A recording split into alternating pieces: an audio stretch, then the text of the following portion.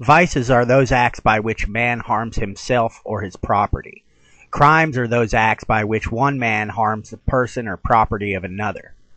Vices are simply the errors which a man makes in his search after his own happiness. Unlike crimes, they imply no malice toward others, and no interference with their persons or property. In vices, the very essence of crime, that is, the design to injure the person or property of another, is wanting.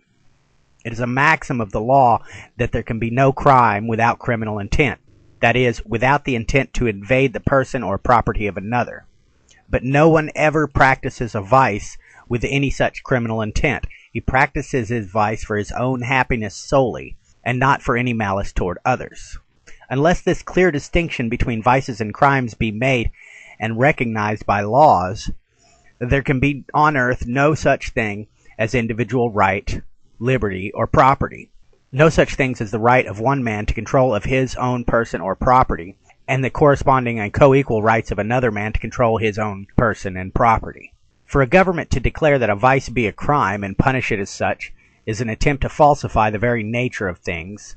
It is as absurd as it would be to declare truth to be falsehood or falsehood truth. Every voluntary act of a man's life is either virtuous or vicious.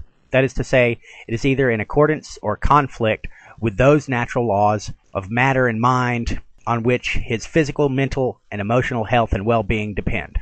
In other words, every act of his life tends, on the whole, either to his happiness or to his unhappiness. No single act in his whole existence is indifferent. Furthermore, each human being differs in his physical, mental, and emotional constitution and also in the circumstances by which he is surrounded from every other human being. Many acts, therefore, that are virtuous and tend to happiness in the case of one person are vicious and tend to unhappiness in the case of another person. Many acts also that are virtuous and tend to happiness in the case of one man at one time and under one set of circumstances are vicious and tend to unhappiness in the case of the same man at another time and under another set of circumstances. To know what actions are virtuous and what vicious, in other words, to know what actions tend on the whole to happiness and what to unhappiness in the case of each and every man in each and all the conditions in which they may be severally placed is the profoundest and most complex study to which the greatest human mind has ever been or can ever be directed. It is, nevertheless, the constant study to which each and every man, the humblest in intellect as well as the greatest, is necessarily driven by the desires and necessities of his own existence. It is also the study in which each and every person, from his cradle to his grave, must necessarily uh, form his own conclusions, because no one else knows or feels as he knows and feels the desires and necessities, the hopes and fears and impulses of his own nature or the pressure of his own circumstances. It is not often possible to say of those acts that are called vices uh, that they are really vices, except in degree. That is, it is different to say of any actions or courses of action that are called vices that they really would have been vices if they had stopped short of a certain point. The question of virtue or vice, therefore, in all such cases, is a question of quantity and degree, and not of the intrinsic character of any single act by itself. This fact adds to the difficulty, not to say the impossibility, of any one's, except each individual for himself, drawing any accurate line or anything like any accurate line between virtue and vice. That is, of telling where virtue ends and vice begins. And this is another reason why this whole question of virtue and vice should be left for each person to settle for himself. Vices are usually pleasurable, at least for the time being, and often do not disclose themselves as vices by their effects until after they have been practiced for many years, perhaps for a lifetime to many, perhaps most, um, of those who practice them, they do not disclose themselves as vices at all during life. Virtues, on the other hand, virtues, on the other hand, often appear so harsh and rugged, they require the sacrifice of so much present happiness at least, and the results, which alone prove them to be virtues, are often so distant and obscure, in fact, so absolutely invisible to the minds of many, especially of the young, that from the very nature of things, there can be no universal or even general knowledge that they are virtues. In truth, the studies of profound philosophers have been expanded, if not wholly in vain, certainly with very small results, in efforts to draw the lines between virtues and vices. If then it became so difficult, so nearly impossible in most cases to determine what is and what is not vice, and especially if it be so difficult in nearly all cases to determine where virtue ends and vice begins, and if these questions, which no one can really and truly determine for anybody but himself, are not to be left free and open for experiment by all, each person is deprived of the highest of all his rights as a human being, to wit, his right to ensure, investigate, reason, try, experiments, uh, judge, and ascertain for himself what is to him a virtue and what is to him a vice. In other words, what on the whole conduces to his happiness and what on the whole tends to his unhappiness. If this great right is not to be left free and open to all, then each man's whole right as a reasoning human being to the liberty and the pursuit of happiness is denied him. We all come into the world in ignorance of ourselves and of everything around us. By a fundamental law of our natures, we are all constantly impelled by the desire of happiness and fear of pain. But we have everything to learn as to what will give us happiness and save us from pain. No two of us are wholly alike, either physically, mentally, or emotionally, or consequently in our physical, mental, or emotional requirements for the acquisition of happiness and the avoidance of unhappiness. No one of us, therefore, can learn this indispensable lesson of happiness and unhappiness, of virtue and vice for another. Each must learn it for himself. To learn it, he must be at liberty to try all experiments that commend themselves to his judgment. Some of his experiments succeed, and because they succeed, are called virtues. Others fail, and because they fail, are called vices.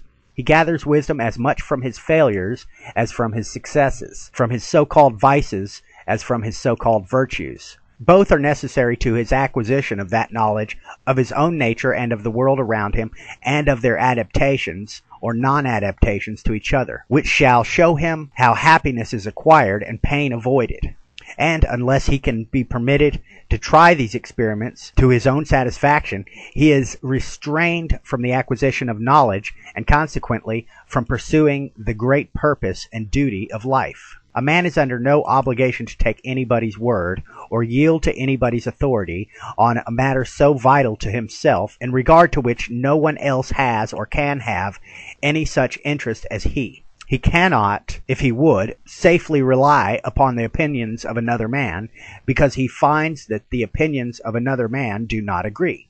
Certain actions or courses of actions have been practiced by many millions of men through successive generations, and have been held by them to be on the whole conducive to happiness, and therefore virtuous. Other men, in other ages or countries, or under other conditions, have held, as the result of their experiences and observation, that these actions tend, on the whole, to unhappiness, and were therefore vicious. The question of virtue or vice, as already remarked in a previous section, has also been, in most minds, a questionable degree that is, of the extent to which certain actions should be carried, and not of the intrinsic character of any single act by itself.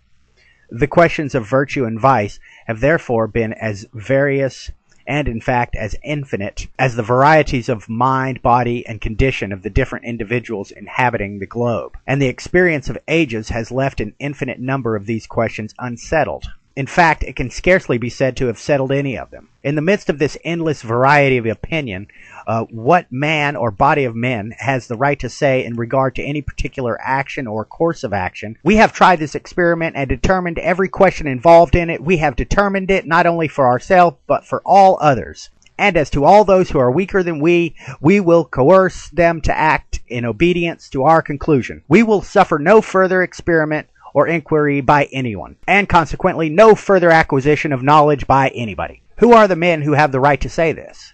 Certainly there are none such. The men who really do say it are either shameless impostors and tyrants who would stop the progress of knowledge and usurp control over the minds and bodies of other men and are therefore to be resisted intensely and to the last extent, or they are themselves too ignorant of their own weaknesses to be entitled to any other consideration than sheer pity or contempt. We know, however, that there are such men as these in the world.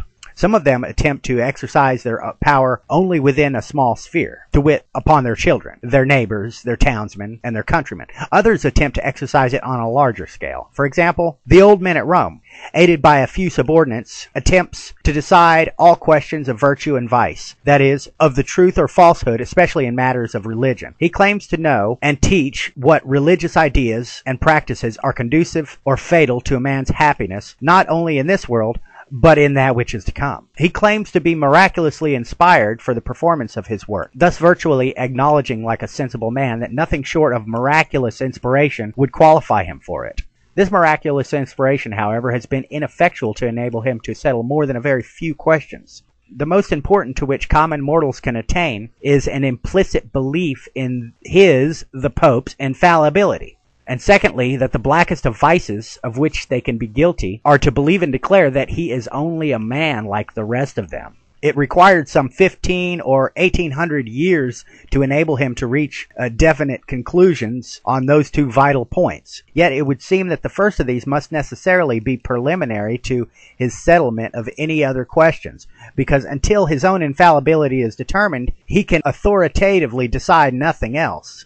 He has, however, heretofore attempted or pretended to settle a few others, and he may perhaps attempt or pretend to settle a few more in the future if he shall continue to find anyone else to listen to him. But his success thus far certainly does not encourage the belief that he will be able to settle all questions of virtue and vice, even in his peculiar department of religion, in time to meet the necessities of mankind. He or his successors will undoubtedly be compelled at no distant day to acknowledge that he has undertaken a task to which all his miraculous inspiration was inadequate, and that, of necessity, each human being must be left to settle all questions of this kind for himself. And it is not unreasonable to expect that all other popes in other and lesser spheres will sometime have cause to come to the same conclusion. No one certainly not claiming supernatural inspiration should undertake a task to which obviously nothing less than supernatural inspiration is adequate, and clearly no one should surrender his own judgment to the teachings of others unless they first be convinced that those others have something more than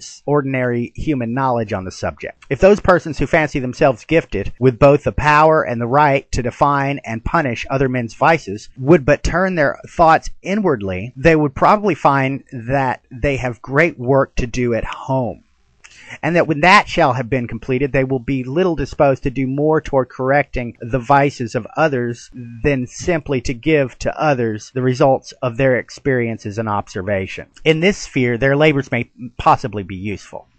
But in the sphere of infallibility and coercion, they will probably, for well known reasons, meet with even less success in the future than such men have met with in the past. It is now obvious from the reasons already given that government would be utterly impracticable if it were to take cognizance of vices and punish them as crimes. Every human being has his or her vices. Nearly all men have a great many, and they are of all kinds psychological, mental, emotional, religious, social, commercial, industrial, economical, etc., etc. If government is to take cognizance of any of these vices and punish them as crimes, then to be consistent, it must take cognizance of all and punish all impartially. The consequence would be that everyone would be in prison for his or her vices. There would be no one left outside to lock the doors upon those within. In fact, courts enough could not be found to try the offenders nor prisons enough built to hold them. All human industry in the acquisition of knowledge and even in acquiring the means of subsistence would be arrested, for we should all be under constant trial or imprisonment for our vices. But even if it were possible to imprison all the vicious, our knowledge of human nature tells us that, as a general rule, they would be far more vicious in prison than they ever had been out of it. A government that shall punish all vices impartially is so obviously an impossibility that nobody was ever found or ever will be found foolish enough to propose it. The most that anyone proposes is that the government shall punish some one or at most a few of what he esteems the grossest of them. But this discrimination is an utterly absurd, illogical, and tyrannical one. What right has any body of men to say, the vices of other men we shall punish, but our own vices nobody shall punish? We will restrain other men from seeking their own happiness according to their own notions of it, but nobody shall restrain us from seeking our happiness according to our notions of it we will restrain other men from acquiring any experimental knowledge of what is conducive or necessary to their own happiness, but nobody re- shall restrain us from acquiring an experimental knowledge of what is conducive or necessary to our own happiness. Nobody but knaves or blockheads ever thinks of making such absurd assumptions as these. And yet, evidently, it is only upon such assumptions that anybody can claim the right to punish the vices of others, and at the same time claim exemption from punishment for his own. Such a thing as government formed by voluntary association would never have been thought of if the subject proposed had been the punishment of all vices impartially, because nobody wants such an institution or would voluntarily submit to it. But government formed by voluntary association for the punishment of all crimes is reasonable matter, because everybody wants protection for himself against all crimes by others, and also acknowledges the justice of his own punishment if he commits a crime. It is a natural impossibility that government should have a right to punish men for their vices, because it is impossible that a government should have any rights except such as the individuals comprising it had previously had as individuals. They could not de- delegate to a government any rights they did not themselves possess. They could not contribute to the government any rights except such as they themselves possessed as individuals. Now, nobody but a fool or an impostor pretends that he, as an individual, has a right to punish other men for their vices but anybody and everybody have a right as individuals to punish other men for their crimes. For everybody has a natural right not only to defend his own person and property against aggressors, but also to go to the assistance and defense of everybody else whose person or property is invaded. The natural right of each individual to defend his own person and property against an aggressor, and to go to the assistance and defense of everybody else whose person or property is invaded, is a right without which men could not exist on earth and government has no rightful existence except insofar as it embodies and is limited by this natural right of individuals. But the idea that each man has a natural right to decide what virtues and what vices, that is, what contributes to the, that neighbor's happiness and what does not, and to punish him for all that does not contribute to it, is what no one ever had the impudence or folly to assert. It is only those who claim that government has some rightful power which no individual or individuals ever did or could delegate to it that claim that government has any rightful power to punish vices. It will do for a pope or a king who claims to have received direct authority from heaven to rule over his fellow men to claim the right as the vicegerent of God to punish men for their vices.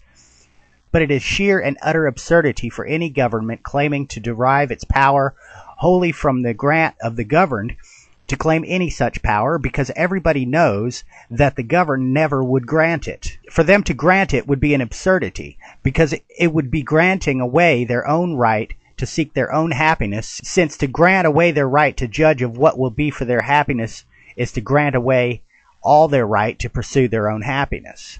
We can now see how simple, easy, and reasonable a matter a government is for the punishment of crimes as compared with one for the punishment of vices. Crimes are few and easily distinguished from all other acts, and mankind are generally agreed as to what kind of acts are crimes, whereas vices are innumerable and no two persons are agreed except in comparatively few cases as to what are vices. Furthermore, everybody wishes to be protected in his person and property against the aggressions of other men.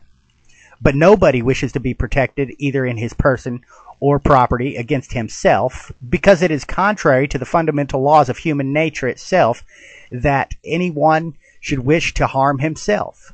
He only wishes to promote his own happiness and to be his own judge as to what will promote and does promote his own happiness. This is what everyone wants and has a right to do as a human being. And though we all make many mistakes and necessarily must make them from the imperfection of our knowledge, yet these mistakes are no argument against the right, because they all tend to give us the very knowledge we need and are in pursuit of, and can get in no other way.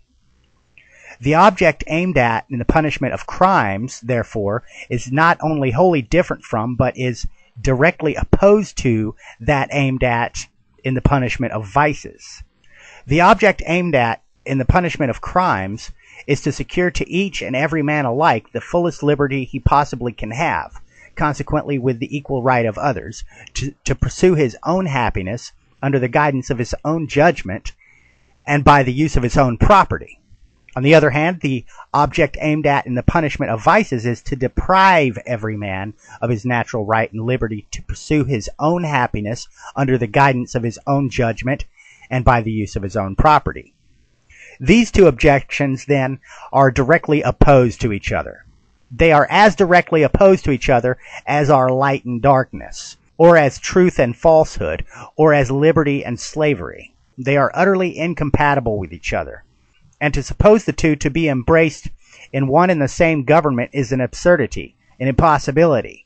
It is to suppose it is to suppose the objects of a government to be to commit crimes and to prevent crimes, to destroy individual liberty and to secure individual liberty. Finally, on this point of individual liberty, every man must necessarily judge and determine for himself as to what is conducive and necessary to and what is destructive of his own well-being because if he omits to perform this task for himself, nobody else can perform it for him. And nobody else will even attempt to perform it for him, except in very few cases. Popes and priests and kings will assume to perform it for him in certain cases, if permitted to do so, but they will in general perform it only insofar as they can minister to their own vices and crimes by doing it. They will in general perform it only insofar as they can make him their fool and slave. Parents with better motives, no doubt, than others, too often attempt the same work. But insofar as they practice coercion or restrain a child from anything not really and seriously dangerous to himself, they do him a harm rather than a good. It is a law of nature that to get knowledge and to incorporate that knowledge into his be- own being each individual must get it for himself. Nobody, not even his parents, uh, can tell him the nature of fire so that he will really know it. He must experiment with it and be burnt by it before he can know it. Nature knows a thousand times better than any parent what she designs each individual for, what knowledge he requires, and how he must get it. She knows that her own processes for communicating that knowledge are not only the best, but the only ones that can be effectual. The attempts of a parent to make their child virtuous are generally little else than attempts to keep them in ignorance of vice. They are little else than attempts to teach their children to know and prefer truth by keeping them in ignorance of falsehood. They are little else than attempts to make them seek and appreciate health by keeping them in ignorance of disease and everything that will cause disease. They are little else than attempts to make their child love the light by keeping him in ignorance of darkness. In short, they are little else than attempts to make their child happy by keeping them in ignorance of everything that causes them unhappiness. In so insofar as parents can really aid their children in the latter's search of after happiness by simply giving them the results of their the parents' own reason and experience, it is all very well and is a natural and appropriate duty. But to practice coercion in matters of which the children are reasonably competent to judge for themselves is only an attempt to keep them in ignorance. And this is as much a tyranny and as much a violation of the child's right to acquire knowledge for themselves and such knowledge as they desire as is the same coercion when practiced upon older persons. Such coercion practiced upon children is a denial of their right to develop the faculties that nature has given them and to be what nature designs to them to be. It is a denial of their right to themselves and to the use of their own powers. It is a denial of the right to acquire the most valuable of all knowledge, to wit, the knowledge uh, that nature, the greater teacher, stands ready to impart to them. The results of such coercion are not to make the children wise or virtuous, but to make them ignorant, and consequently weak and vicious. And to perpetuate through them from age to age the ignorance, the superstitions, the vices, and the crimes of the parents. This is proved by every page of the world's history. Those who hold opinions opposite to these are whose false and vicious theologies or whose own vicious general ideas have taught them that the human race are naturally given to evil rather than good, to the false rather than the true, that mankind do not naturally turn their eyes to the light, that they love darkness rather than light, and that they find their happiness only in those things that tend to their misery. But those men who claim that government shall use its power to prevent vice will say, or are in a habit of saying, we acknowledge the right of an individual to seek his own happiness in his own way, and consequently uh, to be as vicious as he pleases. We only claim that the government shall prohibit the sale to him of those articles by which he ministers to his vice. The answer to this is that the simple sale of any article whatever, independently of the use that is to be made of the article, is legally a perfectly innocent act. The quality of the act of sale depends wholly upon the quality of the use for which the thing is sold. If the use of anything is virtuous and lawful, then the sale of it for that use is virtuous and lawful. If the use is vicious, then the sale of it for that use is vicious. If the use is criminal, then the sale of it for that use is criminal. The seller is at most only an accomplice in the use that is to be made of the article sold, whether the use be virtuous, vicious, or criminal. Where the use is criminal, the seller is an accomplice in the crime, and punishable as such. But where the use is vicious, the seller is only an accomplice in the vice and is not punishable. But it will be asked, is there no right on the part of government to arrest the progress of those who are bent on self-destruction? The answer is that government has no rights whatever in the matter, so long as these so-called vicious persons remain sane, compos mentis, capable of exercising reasonable discretion and self-control. Because so long as they do remain sane, they must be allowed to judge and decide for themselves whether their so-called vices are really vices, whether they really are leading them to destruction, and whether on the whole they will go there or not. When they shall become insane, non compos mentis, incapable of reasonable discretion or self control, their friends or neighbors or the government must take care of them and protect them from harm, and against all persons who would do them harm, in the same way as if their insanity had come upon them from any other cause than their supposed vices. But because a man is supposed by his neighbors to be on the way to self destruction from his vices, it does not therefore follow that he is insane, non compos mentis, incapable of reasonable discretion and self control, within the legal meaning of those terms. Men and women may be addicted to very gross vices, and to a great many of them, such as gluttony, drunkenness, prostitution, gambling, prize fighting, tobacco chewing, smoking, sniffing, opium eating, corset wearing, idleness, waste of property, avarice, hypocrisy, etc., etc., and still be sane. Compos mentis capable of reasonable discretion and self-control within the meaning of the law. And so long as they are sane, they must be permitted to control themselves and their property and to be their own judges as to where their vices will finally lead them. It may be hoped by the lookers on in each individual case that the vicious person will see the end to which he is tending and be induced to turn back. But if he chooses to go on to what other men call destruction, he must be permitted to do so. And all that can be said of him, so far as this life is concerned, is that he made a great mistake in his search for happiness, and that others will do well to take warning by his fate. As to what may be his condition in another life, that is a theological question with which the law in this world has no more to do than it has with any other theological question touching the man's condition in a future life. If it be asked how the question of a vicious man's sanity or insanity is to be determined, the answer is that it is to be determined by the same kinds of evidence as is the sanity or insanity of those who are called virtuous and not otherwise. If it is to be asked how the question of a vicious man's sanity or insanity is to be determined, the answer is that it is to be determined by the same kinds of evidence as is the sanity or insanity of those who are called virtuous, and not otherwise. It is by the same kinds of ev- evidence by which the legal tribunals determine whether a man should be sent to an asylum for lunatics or whether he is competent to make a will or otherwise dispose of his property. Any doubt must weigh in favor of his sanity, as in all other cases, and not of his insanity. If a person really does become insane, non compos mentis, incapable of reasonable discretion or self control, it is then a crime on the part of other men to give to him or sell to him the means of self injury.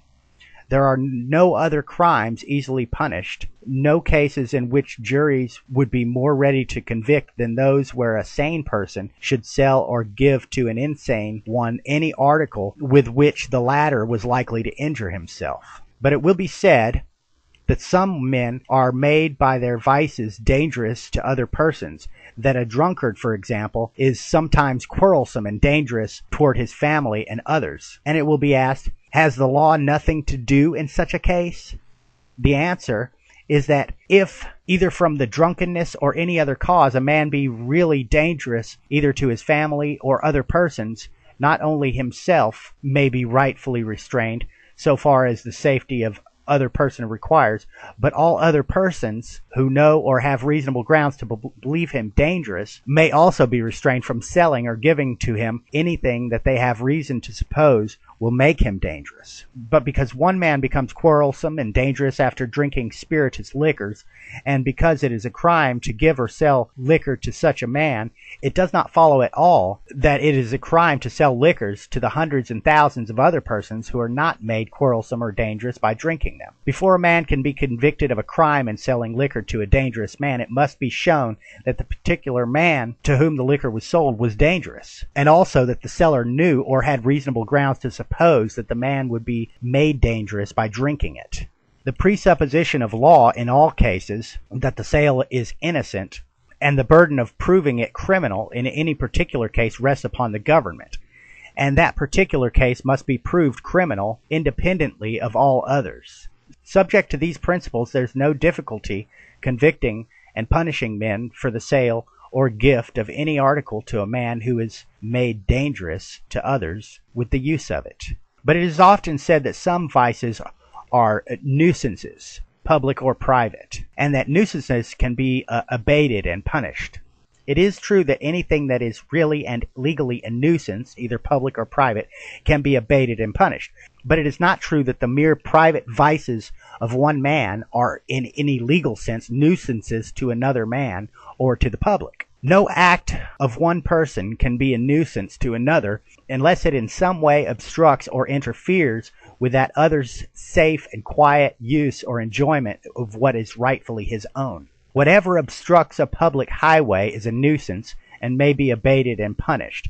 But a hotel where liquors are sold, a liquor store, or even a grog shop, so called, no more obstructs a public highway than does a dry goods store, a jewelry store, or a butcher shop.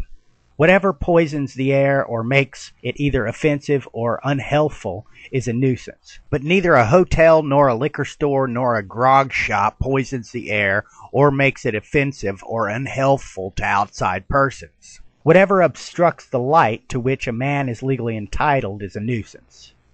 But neither a hotel nor a liquor store nor a grog shop obstructs anybody's light, except in cases where a church, a schoolhouse, or a dwelling house would have equally obstructed it. On this ground, therefore, the former are no more and no less nuisances than the latter would be. Some persons are in the habit of saying that a liquor shop is dangerous in the same way that gunpowder is dangerous. But there's no analogy between the two cases. Gunpowder is liable to be exploded by accident, and especially by such fires as often occur in cities. For those reasons, it is dangerous to the person and property in its immediate vicinity. But liquors are not liable to be thus exploded, and therefore are not dangerous nuisances in any such sense as is gunpowder in cities. But it is said again that drinking places are frequently filled with noisy and boisterous men, who disturb the quiet of the neighborhood and the sleep of the rest of the neighbors. This may be true occasionally, though not very frequently, but whenever in any case it is true, the nuisance may be abated by the punishment of the proprietor and his customers, if need be, by shutting up the place, but an assembly of noisy drunkards is no more a nuisance than is any other noisy assembly. A jolly or hilarious drinker disturbs the quiet of a neighborhood no more and no less than does a shouting religious fanatic. An assembly of noisy drinkers is no more and no less a nuisance than is any assembly of shouting religious fanatics. Both of them are nuisances when they disturb the rest and sleep or quiet of neighbors. Even a dog that is given to barking to the disturbance of the sleep and quiet of the neighborhood is a nuisance. But it is said that for one person to entice the other into vice is a crime. This is preposterous. If any particular act is simply a vice, then a man who entices another to commit it is simply an accomplice in the vice. He evidently commits no crime because the accomplice can certainly uh, commit no greater offense than the principal. Every person who is sane, compos mentis, possessed of reasonable discretion and self-control, is presumed to be mentally competent to judge for himself of all the arguments pro and con that may be addressed to him to persuade him to do any particular act, provided no fraud is employed to deceive him. And if he is persuaded or induced to do the act, his act is then his own. And even though the act proved to be harmful to himself, he cannot complain that the persuasion or arguments to which he yielded his assent were crimes against himself. When fraud is practiced, the case is, of course, different. If, for example, I offer a man poison, assuring him that it is safe and wholesome drink, and he, on the faith of my assertion, swallows it, my act is a crime. Volenti non fit injuria is a maxim of the law. To the willing, no injury is done. That is, no legal wrong. And every person who is sane, compos mentis, capable of exercising reasonable discretion in judging of the truth or falsehood of the representations or per- persuasion to which he yields his assent is willing in the view of the law and takes upon himself the entire responsibility for his acts when no intentional fraud has been practiced upon him. This principle that to the willing no injury is done has no limit, except in cases of frauds or of persons uh, not possessed of reasonable discretion for judging in the particular case. If a person possessed of reasonable discretion and not deceived by fraud consents to practice the grossest vice and thereby brings upon himself the greatest moral, physical, or pecuniary sufferings or losses, he cannot allege that he has been legally wronged. We see the same principle in the case of prize fighters. If I but lay one of my fingers upon another man's person against his will, no matter how lightly, and no matter how little practical injury is done, the act is a crime. But if two men agree to go out and pound each other's face to jelly, it is no crime, but only a vice. Even duels have not generally been considered crimes, because each man's life is his own, and the parties agree that each man may take the other's life if he can by the use of such weapons that are agreed upon and in conformity with certain rules that are also mutually assented to. And this is a correct view of the matter, unless it can be said, as it probably cannot, uh, that anger is a madness that so far deprives men of their reason as to make them incapable of reasonable discretion. Gambling is another illustration of the principle that to the willing no injury is done. If I take but a single cent of a man's property without his consent, the act is a crime. But if two men who are compos mentis possess of reasonable discretion to judge of the nature and probable results of their act, sit down together, and each voluntarily stakes his money against the money of another on the turn of a die, and one of them loses his whole estate, however large that may be, it is no crime, but only a vice. It is not a crime even to assist a person to commit suicide if he be in possession of his reason. It is a somewhat common idea that suicide is of itself conclusive evidence of insanity. but although it may ordinarily be very strong evidence of insanity, is by no means uh, conclusive in all cases. Many persons in undoubted possession of their reason have committed suicide to escape the shame of a public exposure for their crimes, or to avoid some other great calamity. Suicide in these cases may not have been the highest wisdom, but it clearly was not proof of any lack of reasonable discretion. And being within the limits of reasonable discretion, it was no crime for other persons to aid it, either by furnishing the instrument or otherwise. And if in such cases it be no crime to aid suicide, how absurd to say that it is a crime to aid in some act that is really pleasurable and which a large portion of mankind have believed to be useful. But some persons are in the habit of saying that the use of spirituous liquors is the great source of crime that it fills our prisons with criminals, and that this is reason enough for prohibiting the sale of them. Those who say this, if they talk seriously, talk blindly and foolishly. They evidently mean to be understood as saying that a very large percentage of the, all the crimes that are committed among men are committed by persons whose criminal passions are excited at the time by the use of liquors and in consequence of the use of the liquors. The idea is utterly preposterous. In the first place, the great crimes committed in the world are mostly prompted by avarice and ambition. The greatest of all crimes are wars that are carried on by governments to plunder, enslave, and destroy mankind. The next greatest crimes committed in the world are equally prompted by avarice and ambition, and are committed not on sudden passion, but by men of calculation who keep their heads cool and clear and have no thought whatever of going to prison for them. They are committed not so much by men who violate the laws as by men who either by themselves or by their instruments make the laws. By men who have combined to usurp arbitrary power and to maintain it by force and fraud and whose purpose in usurping and maintaining it is by unjust and unequal legislation to secure to themselves such advantages and monopolies as will enable them to control and extort the labor and properties of other men, and thus impoverish them in order to minister to their own wealth and aggrandizement. The robberies and wrongs thus committed by these men in conformity with the laws, that is, their own laws, are as mountains to molehills compared with the crimes committed by all other criminals in violation of the laws. But thirdly, there are vast numbers of frauds of various kinds committed in the transactions of trade, whose perpetrators, by their coolness and sagacity, evade even the operation of the laws and it is only their cool and clear heads that enable them to do it. Men under the excitement of intoxicating drinks are little disposed and utterly unequal to the successful practice of these frauds. They are the most incautious, the least successful, the least efficient, and the least to be feared of all the criminals with whom the laws have to deal. Fourthly, professed burglars, robbers, thieves, forgers, counterfeiters, and swindlers who prey upon society are anything but reckless drinkers. Their business is of too dangerous a character to admit of such risks as they would thus incur.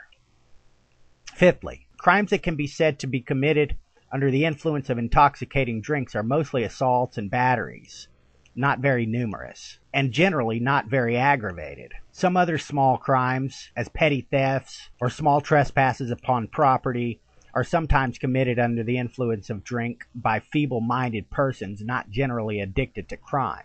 The persons who commit these two kinds of crime are but few. They cannot be said to fill our prisons. Or if they do, we are to be congratulated that we need so few prisons and so small prisons to hold them. The state of Massachusetts, for example, has a million and a half people. How many of these people are now in prison for crimes? Not for the vice of intoxication, but for crimes committed against persons or property under the instigation of strong drink. I doubt if there be one in 10,000, that is 150 in all. And the crimes for which these are in prison are mostly very small ones. And the crimes for which these are in prison are mostly very small ones. And I think it will be found that these few men are generally much more to be pitied than punished, for the reason that it was their poverty and misery rather than any passion for liquor or crime that led them to drink, and thus led them to commit their crimes under the influence of drink. The sweeping charge that drunks fill our prisons with criminals is made, I think, only by those men who know no better than to call a drunkard a criminal, and who have no better foundation for their charge than the shameful fact that we are such brutal and senseless people that we condemn and punish such weak and unfortunate persons as drunkards as if they were criminals. The legislators who authorize and the judges who practice such atrocities as these are intrinsically criminals unless their ignorance be such, as it probably is not, as to excuse them. And if they were themselves to be punished as criminals, there would be more reason in our conduct. A police judge in Boston once told me that he was in the habit of disposing of drunkards by sending them to prison for 30 days. I think that was a stereotyped sentence. Uh, at the rate of one in three minutes, and sometimes more rapidly than that thus condemning them as criminals and sending them to prison without mercy and without inquiry into circumstances for an infirmity that entitled them to compensation and protection instead of punishment. The real criminals in these cases were not the men who went to prison, but the judge and the man behind him who sent him there. I recommend to these persons who are so distressed lest the prisons of Massachusetts be filled with criminals that they employ some portion at least of their philanthropy in preventing our prisons being filled with persons who are not criminals. I do not remember to have heard that their sympathies have ever been very actively exercised in that direction. On the contrary, they seem to have such passion for punishing criminals that they care not to inquire particularly whether a candidate for punishment really be a criminal. Such a passion, let me assure them, is a much more dangerous one, and one entitled to far less charity both morally and legally than the passion for strong drink. It seems to be much more consonant with the merciless character of these men to send an unfortunate man to prison for drunkenness, and thus crush and denigrate and dishearten him and ruin him for life, than it does for them to lift him out of the poverty and misery that it caused him to become a drunkard. It is only those persons who have either little capacity or little disposition to enlighten, encourage, or aid mankind that are possessed of this violent passion for governing, commanding, and punishing them. If instead of standing by and giving their consent and sanction to all the laws by which the weak man is first plundered, oppressed, and disheartened, and then punished as a criminal, they would turn their attention to the duty of defending his rights and improving his condition, and of thus strengthening him and enabling him to stand on his own feet and withstand temptations that surround him, they would, I think, have little need to talk about laws and prisons for either rum sellers or rum drinkers or even any other class of ordinary criminals.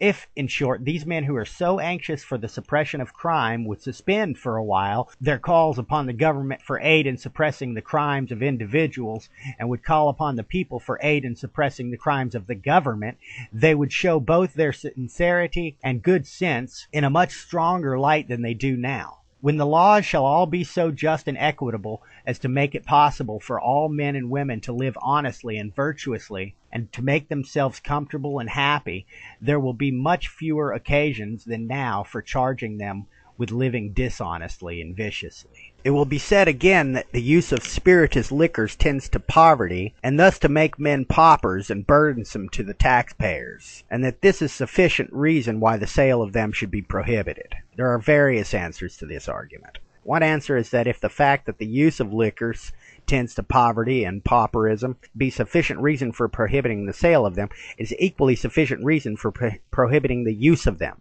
for it is the use and not the sale that tends to poverty. The seller is at most merely an accomplice of the drinker. And it is a rule of law as well as reason that if the principal in any act is not punishable, the accomplice cannot be. A second answer to this argument is that if government has a right and is bound to prohibit one act that is not criminal merely because it is supposed to tend to poverty, then by the same rule it has the right and is bound to prohibit any other act, though not criminal, which, in the opinion of the government, tends to poverty. And on this principle, the government would not only have the right, but would be bound to look into every man's private affairs and every person's personal expenditures and determine as to which of them did and which of them did not tend to poverty, and to prohibit and punish all of the former class. A man would have no right to expend a cent of his own property according to his own pleasure or judgment, unless the legislature should be of the opinion that such an expenditure would not tend to poverty. A third answer to this argument is that if a man does bring himself to poverty, and even to beggary, either by his virtues or his vices, the government is under no obligation whatever to take care of him unless it pleases to do so. It may let him perish in the street or depend upon private charity if it so pleases. It can carry out its own free will and discretion in the matter, for it is above all legal responsibility in such a case. It is not necessarily any part of a government's duty to provide for the poor. A government that is a legitimate government is simply a voluntary association of individuals who unite for social purposes and only for such purposes as suits them. If taking care of the poor, whether they be virtuous or vicious, be not one of those purposes, then the government as a government has no more right and, and, is no more bound to take care of them than has or is a banking company or a railroad company. Whatever moral claims a poor man, whether he be virtuous or vicious, may have upon the charity of his fellow man, he has no legal claims upon them. He must depend wholly upon their charity if they so please. He cannot demand as a legal right that they either feed or clothe him. And he has no legal or moral claims upon a government, which is but an association of individuals, that he has upon the same or any other individuals in their private capacity.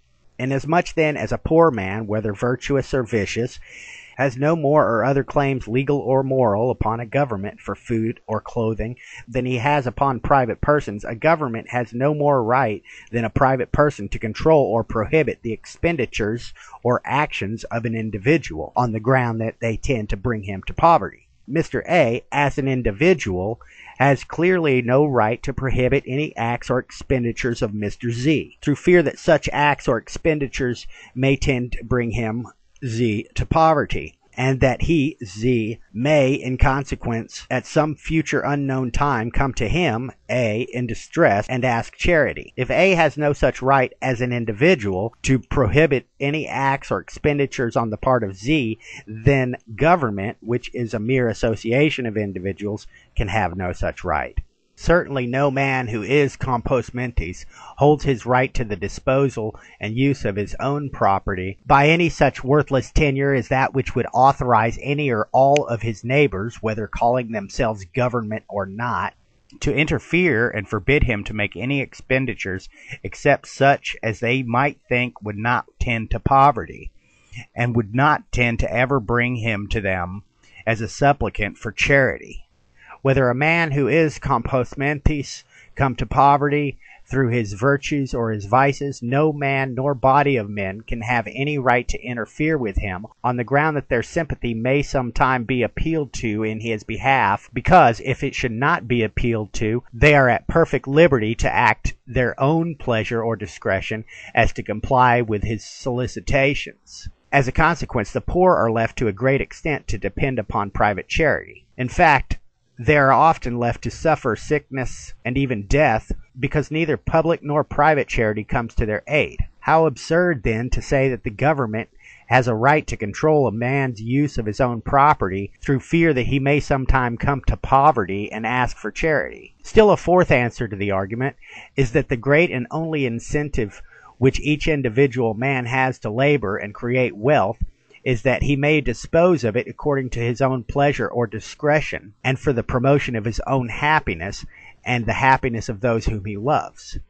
Although a man may often, from experience or want of judgment, expend some portion of the product of his labor injudiciously, and so as not to promote his highest welfare, yet he learns wisdom in this, and in all other matters, by experience, by his mistakes as well as his successes. And this is the only way in which he can learn wisdom. When he becomes convinced that he has made a foolish expenditure, he learns thereby not to make another like it. And he must be permitted to try his own experiments, and to try them to his own satisfaction, in this and all other matters, for otherwise he has no motive to labor or to create wealth at all.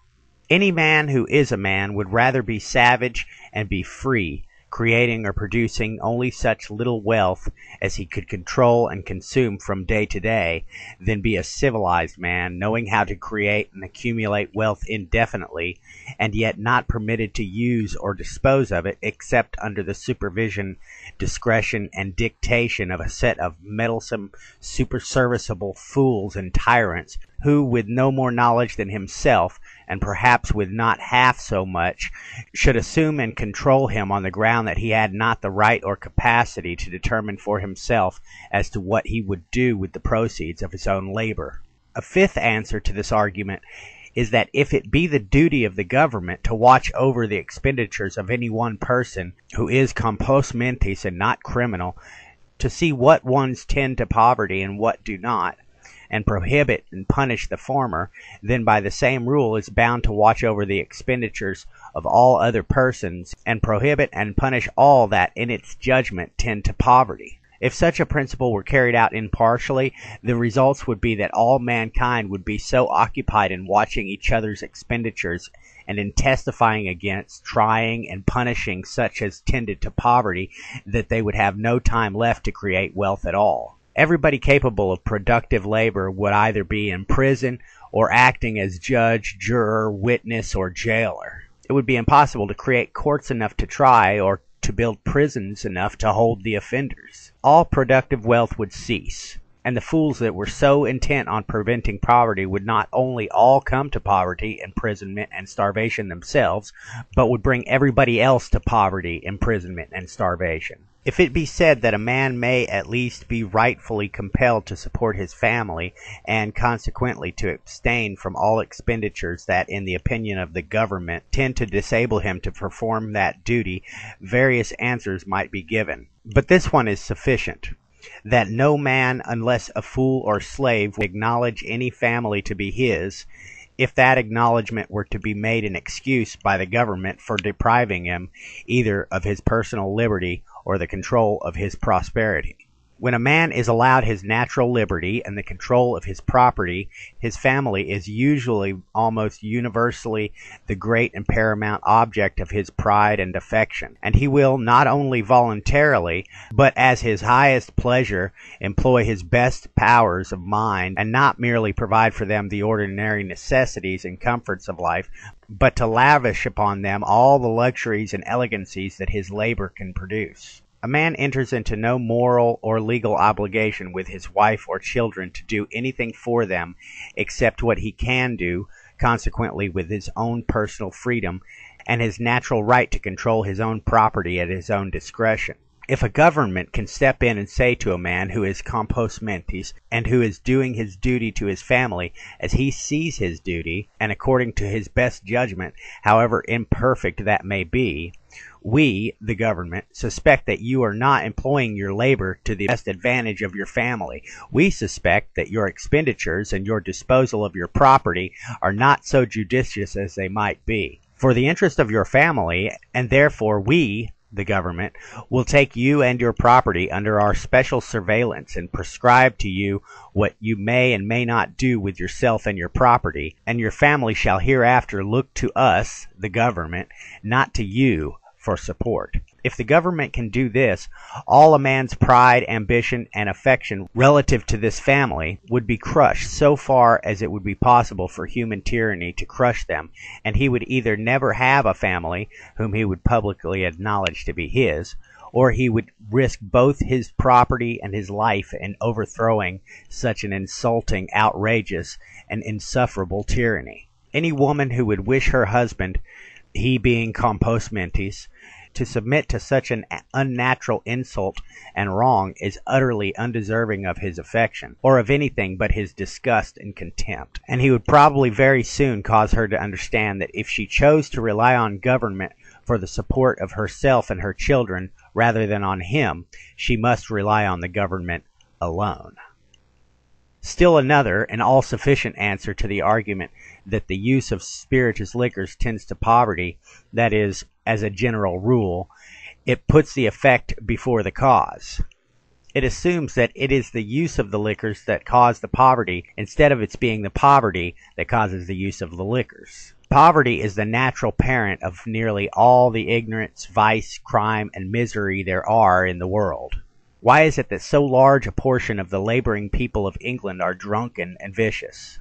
Certainly not because they are by nature any worse than other men but it is because their extreme and hopeless poverty keeps them in ignorance and servitude, destroys their courage and self respect, subjects them to such constant insults and wrongs, to such incessant and bitter miseries of every kind, and finally drives them to such despair that the short respite that drink and other vice affords them is, for the time being, a relief. This is the chief cause of the drunkenness and other vices that prevail among the laboring people of England.